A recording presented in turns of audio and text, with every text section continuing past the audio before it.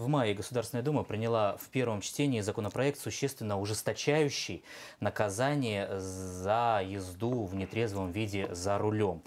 Фактически, по суровости наказания дорожно-транспортные происшествия с участием нетрезвых водителей, они приравниваются к убийству. Ну, это в принципе логично, потому что нетрезвый водитель за руль садится пьяным осознанно, в здравом уме. А почему осознанно? Я, мне кажется, Это- иногда и, без, и неосознанно. Да, степень ясности Он- сознания, он- конечно, он можно обсуждать. Уже, э, вообще адекватность и, и делает это даже бессознательно.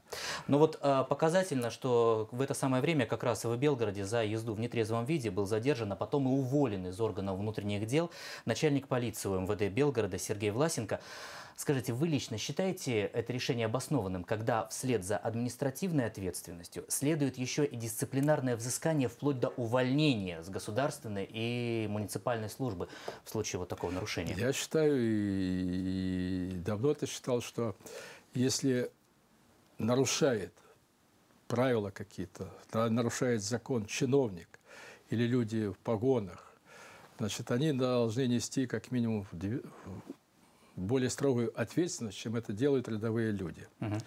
Э, Не может человек, который наделен какими-то полномочиями, сохранять эти полномочия после фактически уголовного или должностного преступления или крупного там правонарушения. Но это, это правонарушение административное. И я считаю, что это очень, наверное, правильно поступил руководитель э, нашей управления внутренних дел Василий Петрович за то, что вот принял такое решение. Я это поддерживаю.